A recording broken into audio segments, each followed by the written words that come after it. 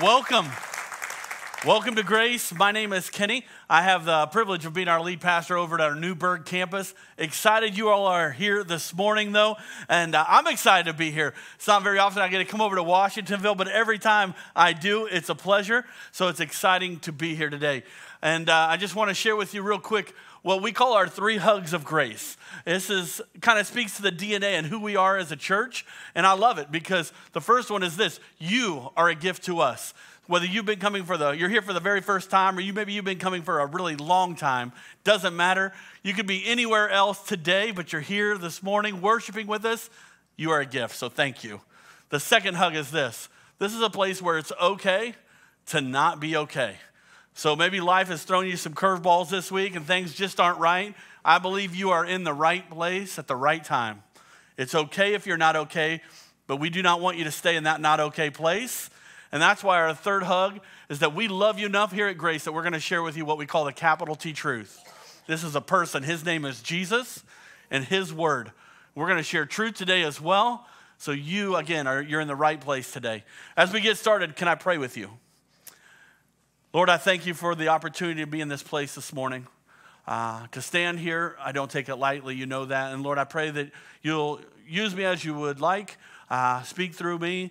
And again, as Pastor Jared often says, anything that is not from you today, Lord, I'll let it fall flat and let us forget about it.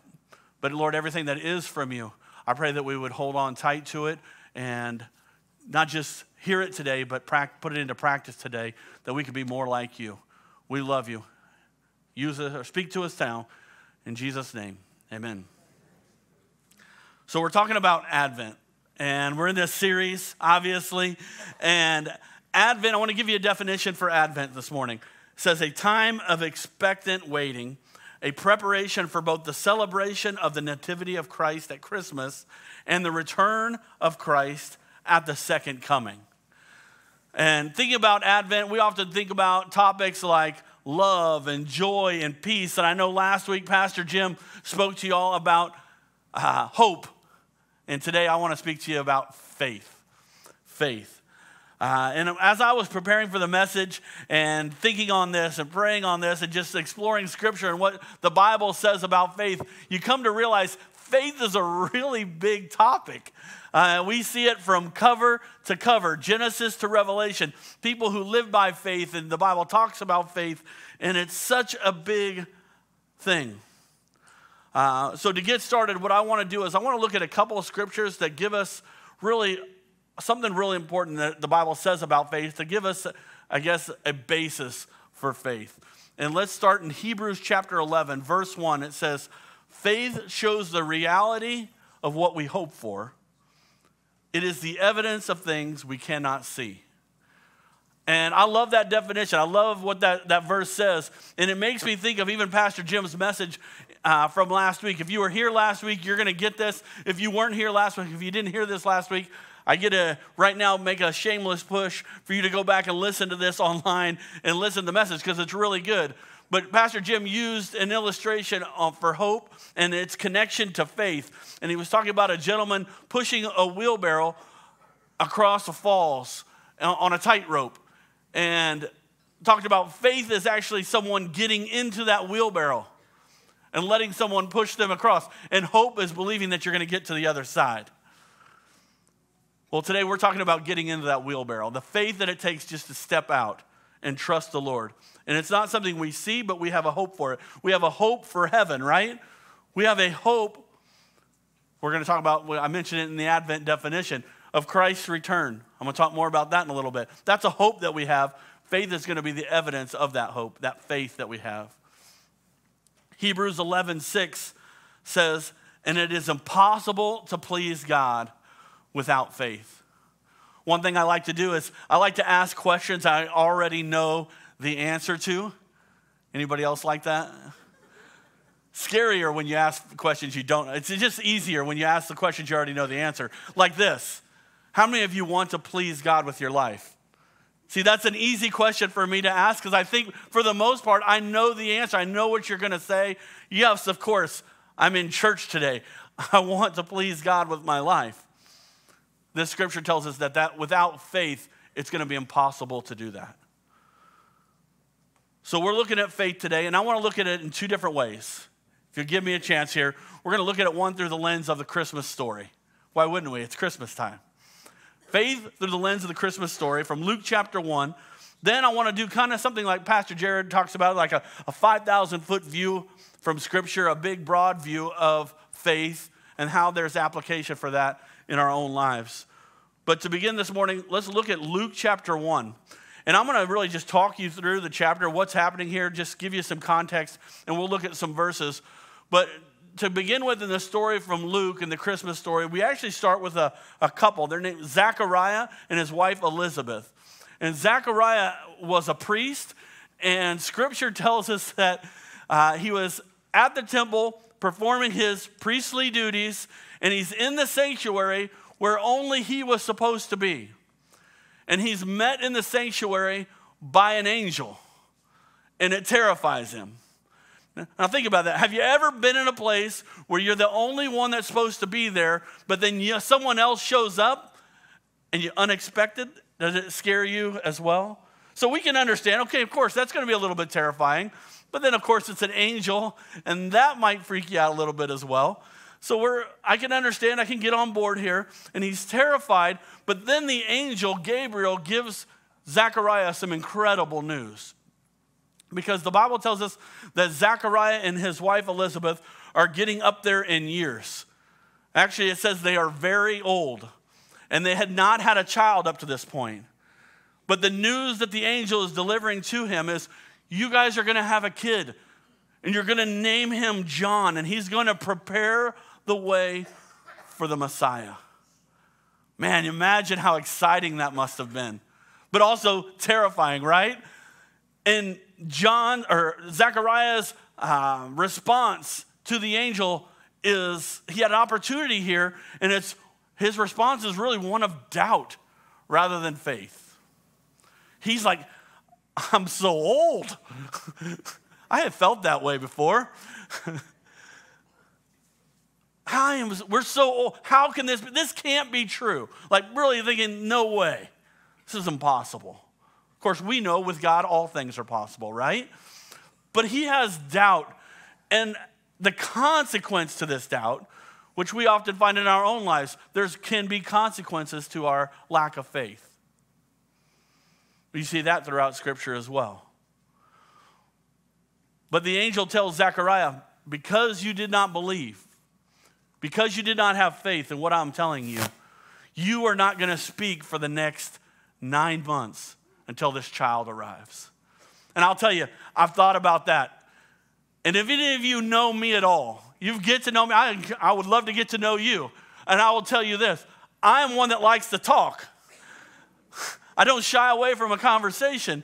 And I started to think, what would it be like to not speak for nine months? It would drive me crazy.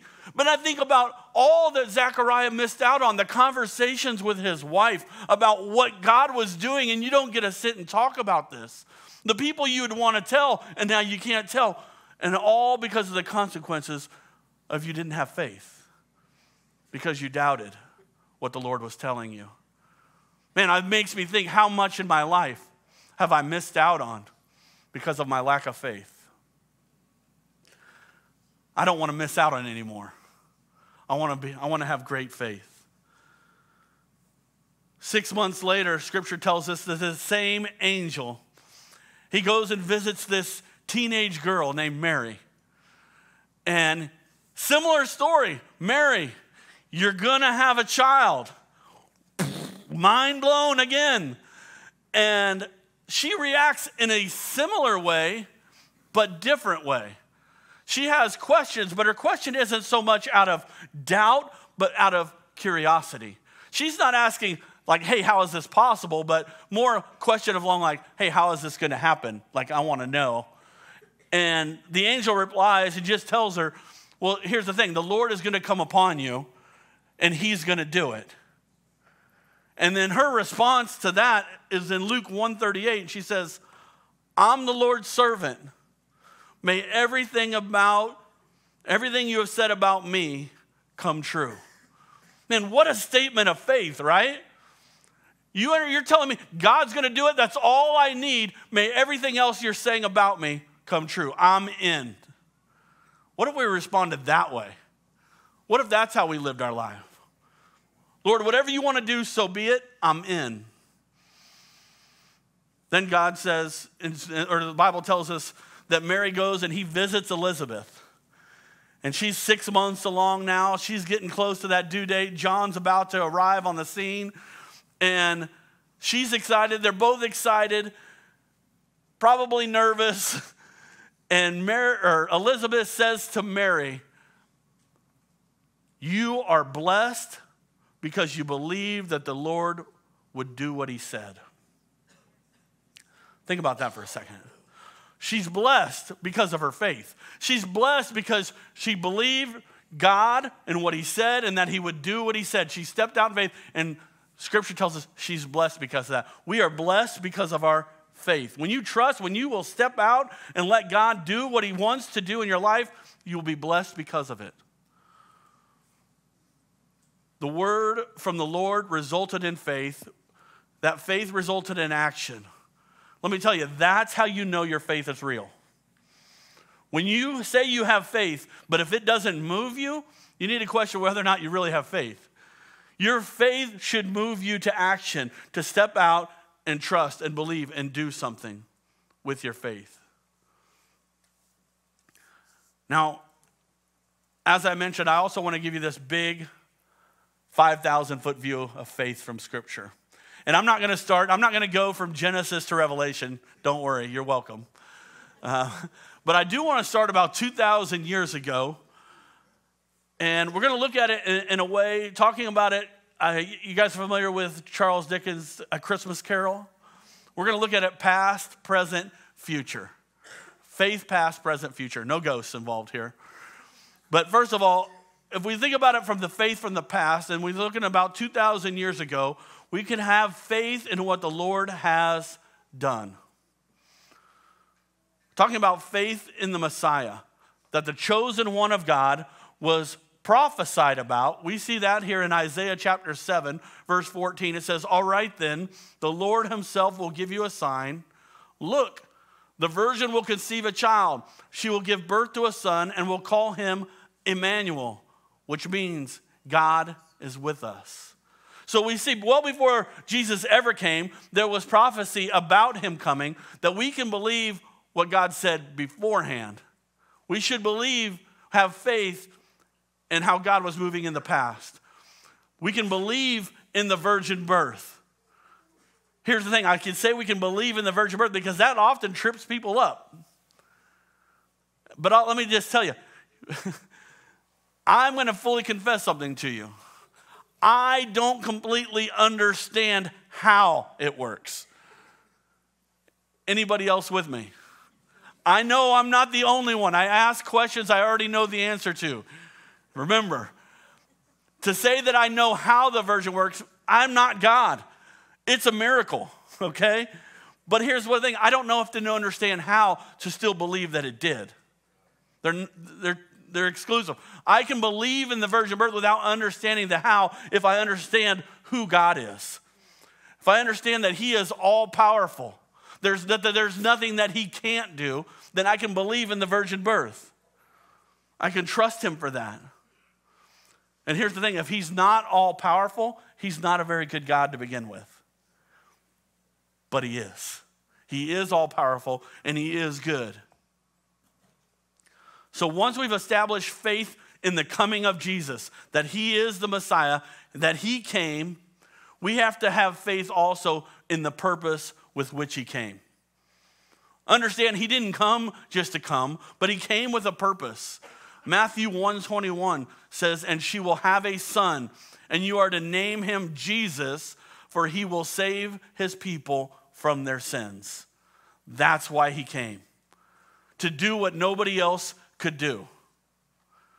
Scripture, we know, tells us that he did not come to be served, but to serve and to give his life as a ransom for many. Jesus even said it in his own words in Mark 1:15. He says, "Repent of your sins and believe the good news." He's imploring each and every one of us, repent of our sins and believe or have faith, trust in the good news. So then we have to ask ourselves, well, what is this good news that I'm supposed to have faith in or that I'm supposed to believe in?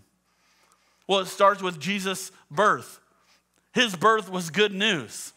We know that from Luke chapter 2 when the angels came and Jesus had just been born, and there's these angels in the sky coming to visit some shepherds, and they say, Behold, I bring you glad tidings or good news of great joy that is for all people. The Messiah has been born this day.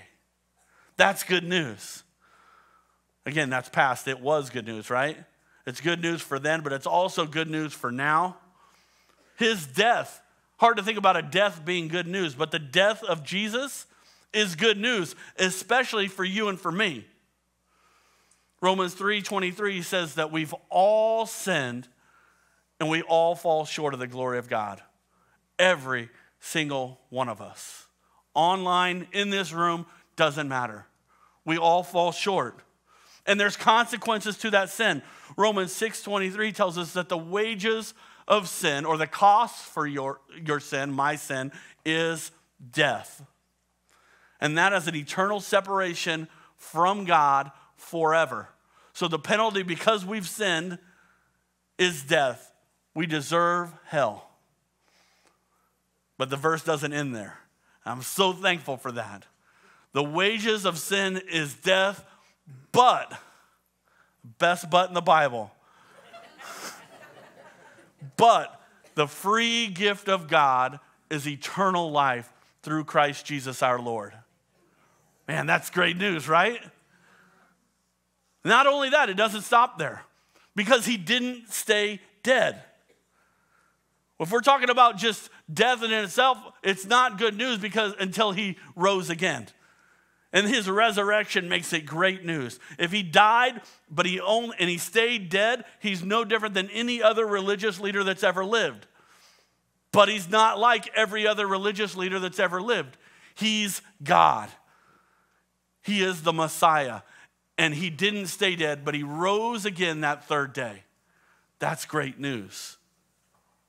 And that leads us to Romans 10 9 and 10, this culmination of all of this says if you openly declare that Jesus is Lord and believe in your heart that God raised him from the dead, you will be saved. That is why he came.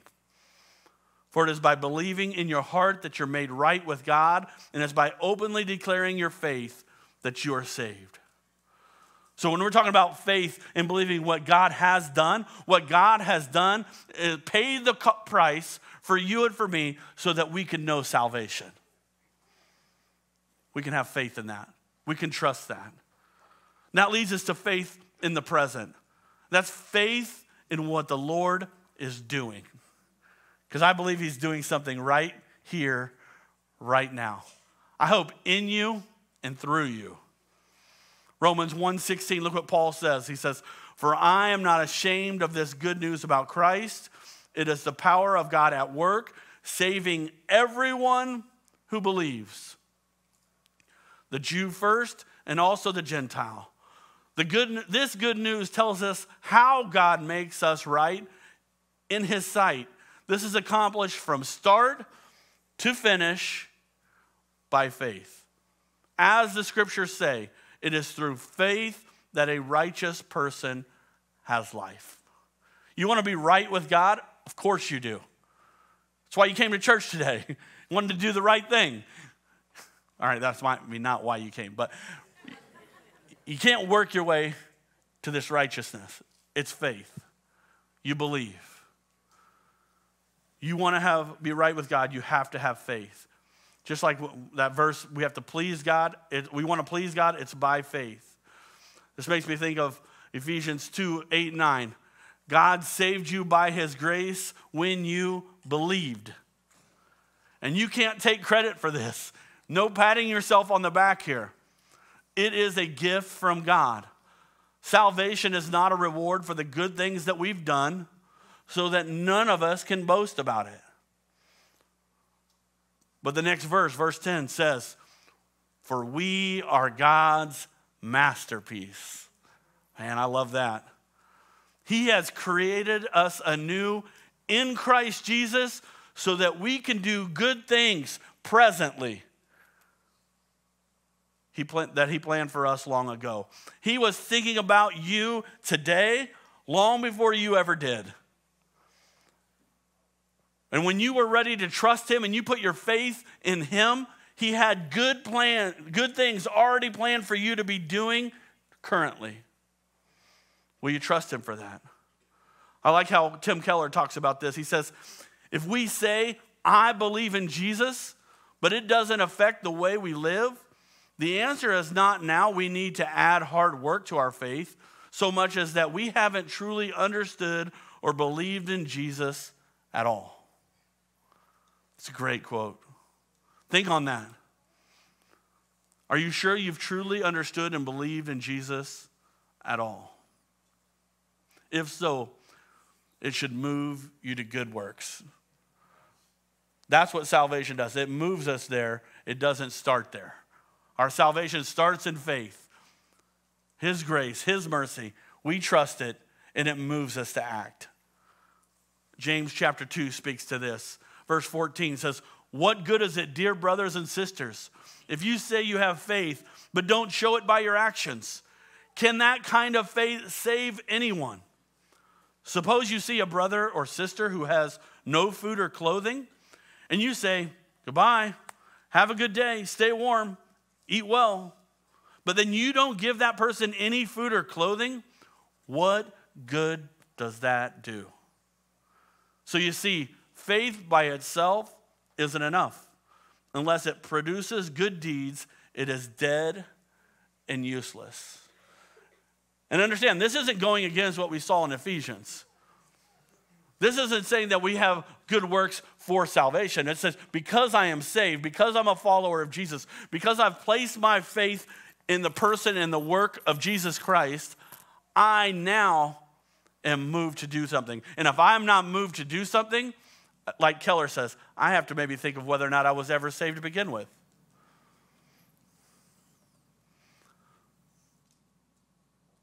So, do you see your faith being lived out in your own life? Do you see these good works at play? I'll give you some examples of what this could look like. Spiritual habits. If you're a follower of Jesus, you should be developing spiritual habits in your life. Acts chapter 2, the early church, uh, 240, Acts 2.42 talks about the, the believers devoting themselves to prayer, devoting themselves to fellowship, devoting themselves to the study of God's word. Does that what, is that what your, your faith looks like? Faith is also engaging our community. I love what you guys are doing here in Washingtonville with these Christmas gifts. There's still opportunity to participate today to let your good works be lived out by helping kids who maybe wouldn't otherwise have Christmas have Christmas. That is faith on display in a real practical way. If you've not yet signed up, man, scan that QR code, get involved. Acts of generosity inside and outside of the church. I also think of Galatians chapter 5, talking about the fruit of the Spirit. We're talking about love, joy, peace, patience, kindness, goodness, faithfulness, gentleness, self control. That is evidence that the Spirit of God lives in you. That is, those things are played out in your life and are evident in your life. That is your faith on display. Examples from Scripture that we see uh, from Hebrews 11 tells us that Abel brought an offering to the Lord. It was an act of faith. Man, I think when we participate in the kicking the darkness offering, it's an act of faith. Bible says Noah obeyed God and he built a boat. I love that because there was never a need for a boat before. Like a boat? What's a boat? What's an ark? You want me he didn't question it. God said, do it. Noah did it. Do we live our lives? Does our faith look like that? God says it, I do it. Says, by faith, Moses chose God over Egypt meaning that he chose to share in the oppression of God's people instead of enjoying the fleeting pleasures of sin. Man, in our world today, everywhere we turn, there is offerings of pleasures of sin left and right. our faith says that we can choose to reject that and go with God. The decision is yours. And when we choose God's way, that is our faith on display. I see throughout Scripture God accomplishing great things through the faith of ordinary people.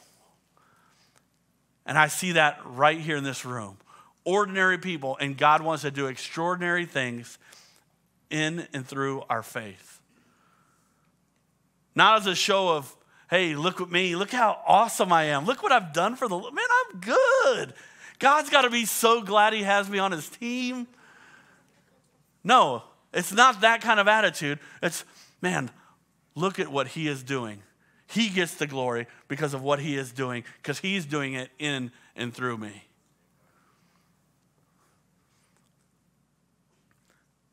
Paul says in Galatians 2:20, "My old self has been crucified with Christ.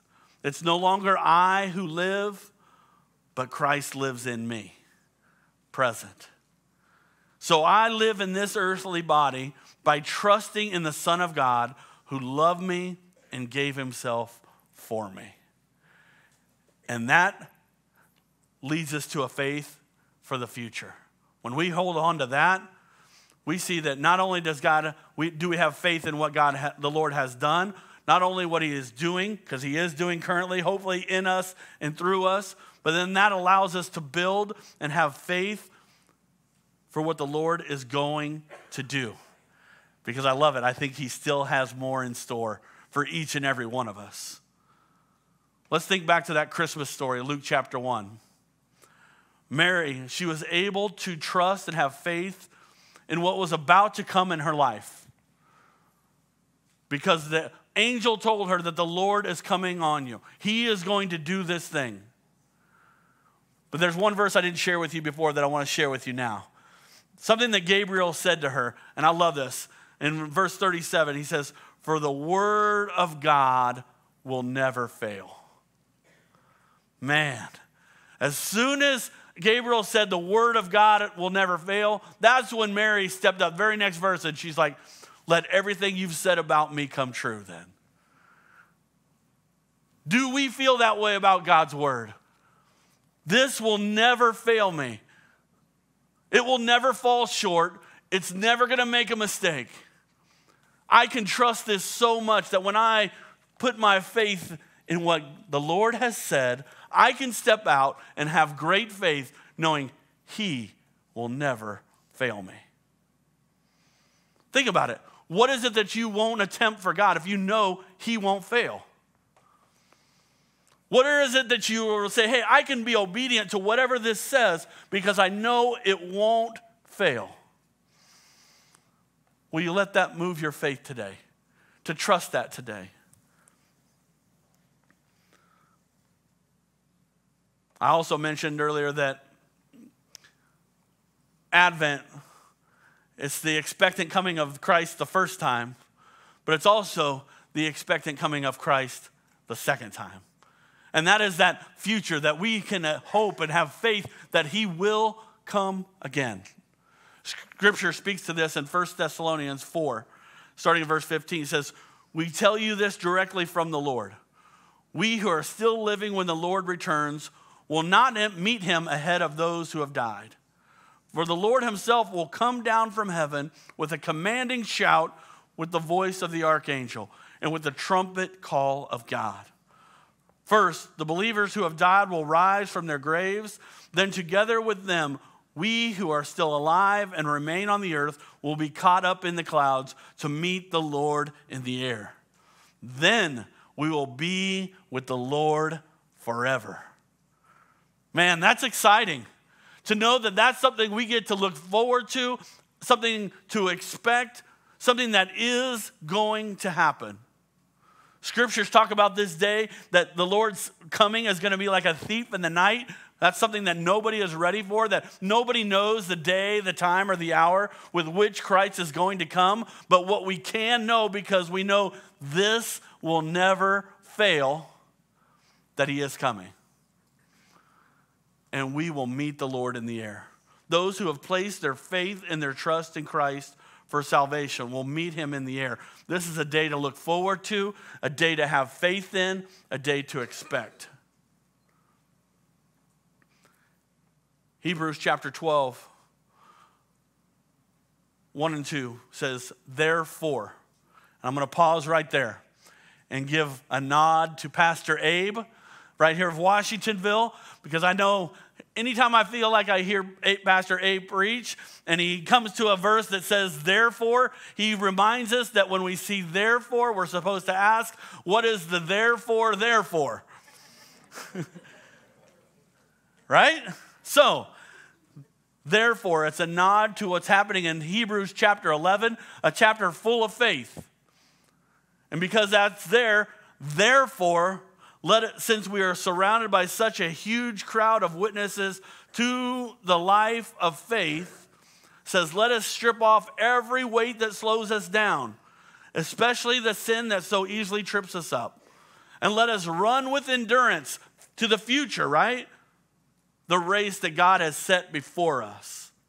We can run that race into the future. We can run with endurance into the future by faith because of verse 2. It says, We do this by keeping our eyes on Jesus, the champion who initiates and perfects our faith. Because of the joy awaiting him, he endured the cross, disregarding its shame, and now he is seated in the place of honor beside God's throne. Other versions of scripture refer to that author, initiator, and perfecter of our faith. It says author and finisher or founder and perfecter of our faith. Our faith, your faith, my faith, it begins with God. He is the initiator of that faith. It starts with Him. And I have to believe, I would love to believe that maybe one of you today, maybe God is initiating faith right here, right now. Maybe you've come in today and you've been kind of reluctant kind of hesitant to really put your faith and your trust in Jesus and let Him be Lord and leader of your life. But today, maybe because you've understood the good news, and maybe you've understood it for the first time, really, that He is initiating faith in your life. That's a good thing. Let Him do that good work in you. Faith, it starts with faith in the past faith in what the Lord has already done, that death, that burial, and that resurrection of Jesus. It begins there. And that leads us to a faith in the present and believing that God has not done. He's doing something today, and He wants to do something in you and through you. He wants to do your good works in you and through you for His glory. And as that faith grows, it leads us to a faith for the future, knowing that He is coming back, but He's not done yet. I'll tell you, during Jesus' life here on earth, we see two things in the life of Christ in the, in the Gospels. Two times in Jesus' life that he was amazed by something. Twice it happened. And I thought about that and I thought, that, to me, that's amazing because knowing that Jesus is God, King of kings, Lord of lords, creator of all things, he was there from the very beginning. It's hard to imagine that he would really be amazed by anything. Yet scripture tells us he was amazed twice. One being by a man's lack of faith.